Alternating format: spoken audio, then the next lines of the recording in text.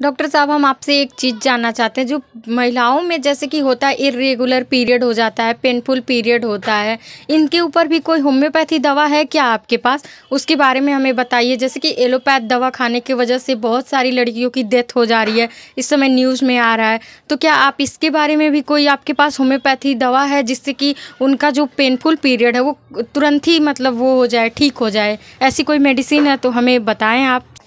जी, इसके होम्योपैथिक में बहुत अच्छे मेडिसिन है और बिना साइड इफ़ेक्ट का है। इसे हम डिसमेरिया बोलते हैं और हिंदी की भाषा में इसे पीरियड के दौरान होने वाला असहनीय दर्द भी बोल सकते हैं।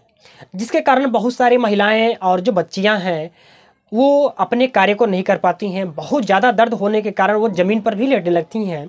इतना असहनीय दर्द होता है। तो आप उस कंडीशन से निजात पाने के लिए, निवृत्ति पाने के लिए आपने कुछ न कुछ आपको मेडिसिन चाहिए। आप उस असहनीय पीड़ा को समाप्त करने के लिए। तो आप होम्योपैथी का भी सहारा ले सकते हैं बिना साइड इफ़ेक्ट का।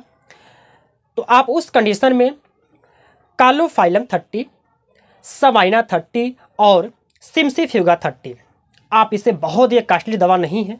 तीनों मेडिसिन को इक्वल क्वांटिटी में मिला करके जब आपका इस तरह का प्रॉब्लम हो तो आप दस दस मिनट के अंतराल पर, जैसे कि आपने जो आपकी दवा है, ये तीनों मतलब एक शीशी में आपने रख लिया और तीनों शीशी जो दवा मिल गई है तो आप डायरेक्ट सीधे जी पर ले सकते हैं। यदि कड़वा लगता है तो आप एक चम्मच पानी के साथ ले सकते हैं। तो इस तीनों मेडिसिन को इक्वल क्वांटिटी में मिलाने के बाद सीधे आप जी पर चार चार बूथ दस दस मिनट के अंतराल पर, जैसे कि आपने जी पर ले लिया, पुनः दस मिनट के बाद आप सीधे जी पर ले लीजिए, पुनः दस मिनट के बाद ले लीजिए।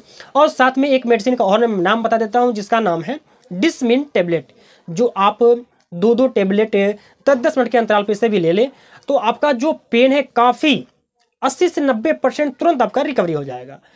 तो इस मेडिसिन को आप यूज़ कर सकते हैं, और ये जो नॉलेज है, इससे दूसरों को जो पास में बच्चियाँ हैं, जो जिनके पीरियड असहनीय बहुत ज़्यादा होता है तो इस एलोपैथी दवा न खा करके, वो यदि हमने देखा है कि एलोपैथी दवा यदि खा लेते हैं तो जो उनका अगला पीरियड है वो इरेगुलर हो जाता है।